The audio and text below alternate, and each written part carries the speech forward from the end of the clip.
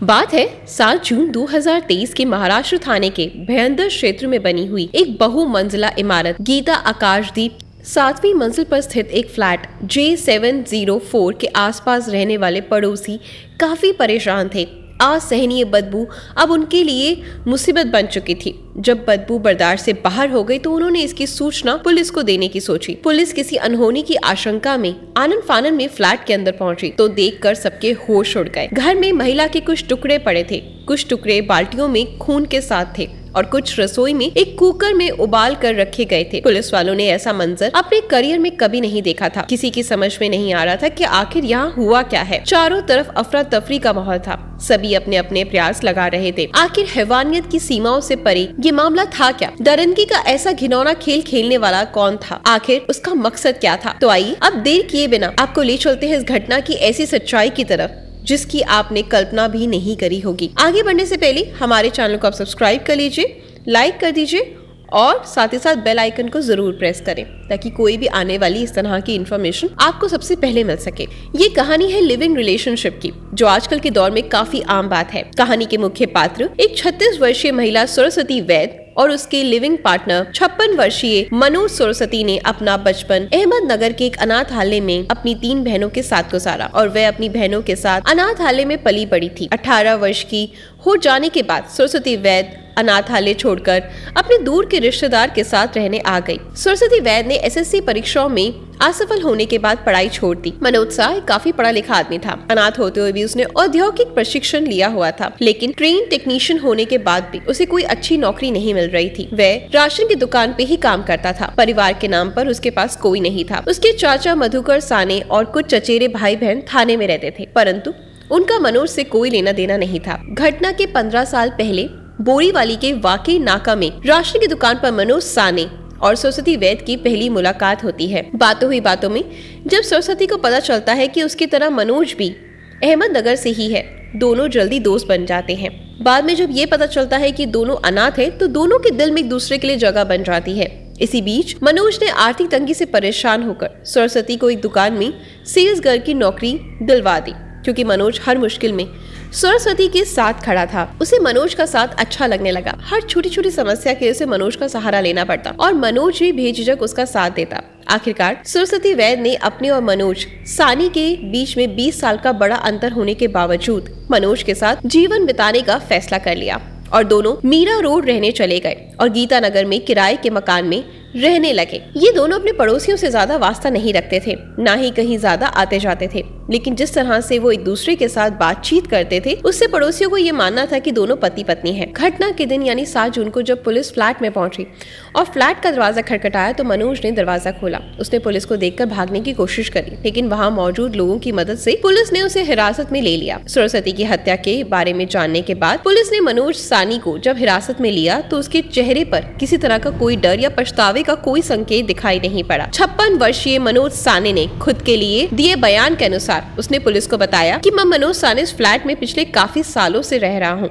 सब कुछ अच्छा चल रहा है। सरस्वती अपनी दसवीं कक्षा की एसएससी की परीक्षा में शामिल होने की योजना बना रही थी और मैं उसे मैथ्स पढ़ाया करता था। पुलिस को फ्लैट में एक बोर्ड भी मिला, जिसमें कुछ मैथ्स के सवाल लिखे हुए थे। उसने बताया कि सरस्वती वैद उसके लिए बेटी की तरह थे। उसने सरस्वती को नहीं मारा।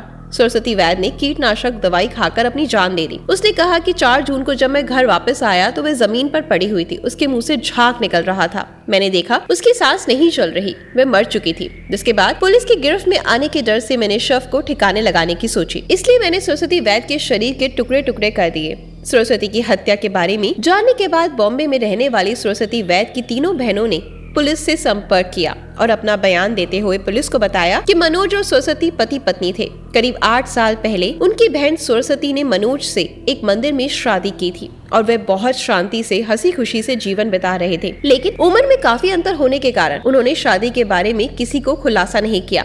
इन दोनों की उम्र में 20 साल से भी ज़्यादा का अंतर था और इतना अंतर होने के कारण सरस्वती अक्सर मनोज का परिचय अपने मामा के रूप में करवाती थी। बहनों के दिए इस बयान के बाद पुलिस ने मनोहर से फिर कड़ाई से पूछताछ करी। उसने शादी की बात मानते हुए कहा कि सरस्वती स्वभाव से बहुत शकी थी और उसे लगता था कि मनोज उसके साथ बेवफाई कर रहा है। सरस्वती की इसी शक के चलते दोनों के बीच अक्सर लड़ाई झगड़ा होता रहा। घटना के दिन भी ऐसा ही झगड़ा हुआ, लेकिन उस दिन मनोज काबू से बाहर हो गया और घर से बाहर चला गया, जिसके चलते सरस्वती ने गुस्से में आकर कीटनाशक पीकर आत्महत्या कर दी। लेकिन जिस समय ये घटना घटी, वो घर में नहीं था। जब वो लौट कर आया तो सरस्वती को मरा हुआ देखकर बुरे तरीके से वो घबरा गया। उसे लगने लगा कि सरस्वती वैद की हत्या के आरोप में उसे पकड़ लिया जाएगा। शव को छुपाने की कोशिश में टाइल कटर से, मशीन से सरस्वती वैद के मृत शरीर के टुकड़े कर दिए। हिरासत में लिए जाने के बाद कोर्ट में मनोज के वकीलों ने कहा कि ये जज साहब, इसकी मानसिक हालत खराब है। इसलिए छोड़ दिया जाए, ताकि वे अपना इलाज करवा सके। माननीय जज ने जब पुलिस को आदेश दिया कि मनोज का टेस्ट करवाया जाए, झूठ और अपराध कभी नहीं छुपता। और टेस्ट की रिपोर्ट में ये सच्चाई सामने आ गई। जी जी अस्पताल में इस बात की पुष्टि की गई कि वह मानसिक रूप से पूरे तरीके से स्वस्थ है और उसे कोई मानसिक बीमारी नहीं। इस बीच पुलिस को मनोज के फ्लैट से काफ़ी अजीब चीज़ें भी मिली, जैसे एक हथौड़ा, एक टाइल कटर, एक मास्क के साथ एक प्रेशर कुकर मांस के पके हुए टुकड़ों के साथ दो प्लास्टिक की थैलियाँ मांस के टुकड़ों के साथ एक प्लास्टिक टब, भुने हुए मांस के टुकड़ों के साथ पीतल का भगौना मांस के टुकड़ों के साथ दो स्टील के चम्मच, किचन स्लैब पर रखे हुए थे। सरस्वती के बाल और बदबू से बचाव के लिए इस्तेमाल किए जाने वाली खुशबूदार तेल की शीशियाँ। दरअसल, आसपास पूछताछ करने के बाद जब पुलिस एक दुकान कार्तिका एंटरप्राइजेस तक पहुँची। दुकान के मालिक ने बताया, मनोज चेन शॉ की मरम्मत करवाने यहाँ आया था और ये पूछने पर कि वह उससे क्या लेता है, उसने कोई भी जवाब ठीक से नहीं दिया। अब पुलिस के हाथ में पुख्ता सबूत लग चुका था। उन्होंने अपने तरीके से मनोज को रिमांड पर लिया और आखिरकार उसने सब कुछ सच उगल दिया, जिसे सुनकर सभी के होश उड़ गए। उसने खुलासा किया कि दरअसल शक की सरस्वती नहीं, बल्कि मनोज खुद था। उसे लगता था कि सरस्वती के और आदमियों के साथ नाजायज रिश्ते हैं और यही शक सरस्वती को मारने का सबसे बड़ा कारण बना। उम्र में वह उससे काफ़ी बड़ा था और इसी इनसिक्योरिटी के चक्कर में उसने गुस्से और जलन में आकर सरस्वती को मौत के घाट उतार दिया। मनोज ने बड़े ही शात्राना ढंग से हत्या की योजना बनाई थी। जब पुलिस द्वारा उसकी गूगल सर्च हिस्ट्री जाँच की गई तो पता चला उसने हत्या से पहले यानी 28 और उनतीस मई को गूगल में घातक कीटनाशकों की खोज की थी। और साथ ही गूगल में ये भी सर्च किया था कि किस शव को गलाने के लिए कितना समय लगता है, शव को टुकड़ों में कैसे काटा जा सकता है और उन्हें कैसे ठिकाने लगा सकते हैं। फिर गूगल से मिली जानकारी के अनुसार ही उसने पहले हत्या के लिए ज़रूरी सामान इंतज़ाम किया। उसने एक हज़ार की टाइल कटिंग मशीन चार हज़ार के 200 वोल्ट वाली इलेक्ट्रिक चेन सौ खरीदी। फिर कीटनाशक दवाइयों का इंतज़ाम किया। यहाँ तक कि शव की सड़ान को रोकने के लिए खुशबूदार नीलगिरी तेल के पाँच बोतलें भी खरीदी।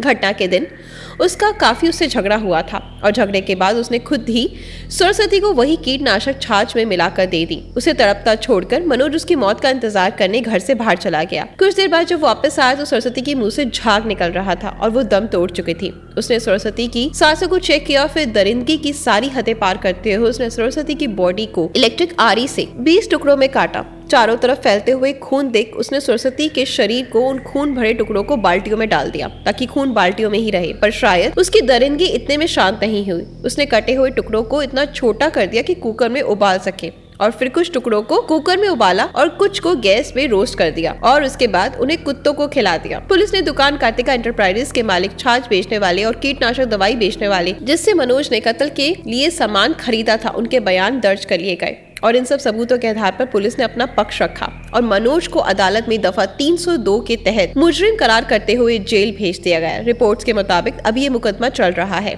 मनोज के वकीलों ने एक और कोशिश करते हुए इस मामले में नया मोड़ लाने की कोशिश करी। इस बार उन्होंने ये कहा है कि मनोज एचआईवी पॉजिटिव टेस्ट किया गया है। 2008 में उसके बाद के सरस्वती के साथ कोई संबंध नहीं थे। पुलिस ने 1200 पेज की चार्जशीट और अड़सठ विटनेस का ब्यौरा कोर्ट में जमा करवाया है और उन्हें विश्वास है कि सरस्वती को इंसाफ ज़रूर मिलेगा। घटना हमें सोचने पर मजबूर कर देती है कि जिस इंसान के साथ हम प्यार के लम्हे गुजारते हैं, जीने मरने की कस्में खाते हैं, क्या वो इंसान हैवान भी बन सकता है? हम ऊपर वाले से प्रार्थना करते हैं कि वह सरस्वती की आत्मा को शांति दे। और ऐसी मौत किसी को ना मिले। दोस्तों, इस वीडियो के बारे में आपकी क्या राय है? कमेंट बॉक्स में ज़रूर बताना। वीडियो पसंद आ रहा है तो वीडियो को लाइक और शेयर ज़रूर करिएगा। धन्यवाद।